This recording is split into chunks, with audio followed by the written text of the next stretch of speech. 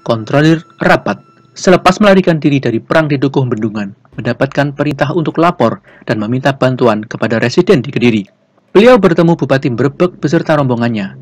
Akhirnya, mereka sepakat agar Bupati Brebek meminta bantuan kepolisian di Kawedanan Kertosono.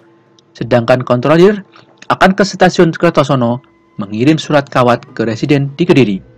Residen Kediri, E. Konstan, yang mendapatkan kabar berita perang di Barong, langsung mengirimkan surat ke Surabaya. Sekitar pukul setengah sebelas, Serdadu dari Surabaya diberangkatkan menuju stasiun Baron. Sedangkan residen Kediri, E. Konstan, beserta rombongan dengan mengendari mobil Dr. H.B. Buren sampai di Baron sekitar pukul setengah dua belas. Segera berkoordinasi dengan Lim Taeki agar disediakan tempat istirahat bagi para serdadu yang akan datang dari Surabaya di pabrik gula Baron miliknya. Pada tengah hari, pasukan dari Surabaya sampai di stasiun Baron, dipimpin oleh Letnan 1 Henderbrock. Kemudian, kereta merayap hingga PAL 107, yang lokasinya di selatan desa Barong. Di sana, residen dan kontrolir menjemput pasukan bantuan. Selepas itu, semua rombongan berjalan menuju rumah Dermojoyo. Sesampainya di depan gerbang kediaman Dermojoyo, pasukan siap siaga di depan dan sebagian di belakang rumah agar pasukan Dermojoyo tidak melarikan diri ke kebun tebu. Di depan rumah terlihat 30 pria pasukan Dermojoyo. Kemudian residen meminta kepada Dermojoyo menyerah dengan bahasa Jawa. Seruan itu pun diulangi oleh Bupati Brebek. Tak lama kemudian, Dermojoyo dari dalam rumah berseru, Perang visabilillah! Perang pun terjadi.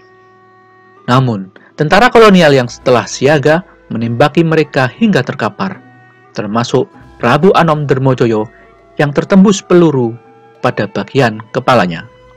Yang masih hidup pun lari tunggang langgang, menyelamatkan diri, yang terluka pun merintih, meminta ampun.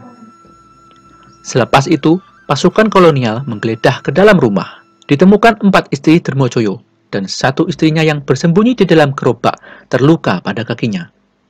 Selain itu, ditemukan enam jasad korban perang pada pagi hari itu, serta jasad Wedono Nganjuk Raden Ngabehi Haryo Dirjo yang penuh luka. Akibat perang Barong ini, 19 orang dari pihak Dermojoyo tewas. 6 di antaranya meninggal saat konflik di pagi hari, 13 tewas pada konflik di sore hari. Selain itu, 66 orang ditawan, di mana 49 di antaranya pria dewasa sedangkan sisanya merupakan anak-anak dan para wanita. Pada sore hari itu pula, Bupati memerintahkan agar korban dari pihak Dermojoyo dimakamkan di dekat rumah dalam satu lubang. Sedangkan jasad Wedono Nganjuk dan Wedono Berbek dikembalikan kepada keluarganya masing-masing.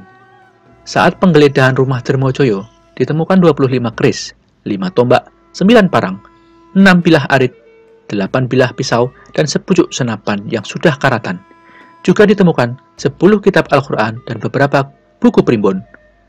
Serdadu militer pun pukul 6 sore itu kembali menuju Surabaya.